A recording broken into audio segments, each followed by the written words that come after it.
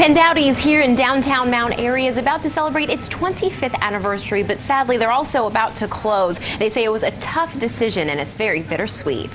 Bob and Irene White say it's something they've been thinking about for a year and they finally made their decision Monday. Their beloved restaurant's last day is June 13th. They say it's for personal reasons. They want to slow down, travel, and spend more time with their kids and grandkids. But their employees and loyal customers are like family to them, so they say it's hard to say goodbye. But it's a hard decision.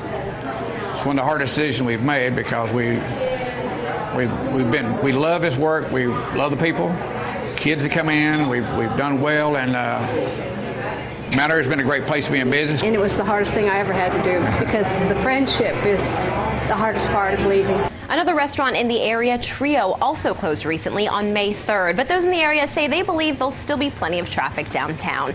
In Mount Airy, Veronica White, WXII 12 News.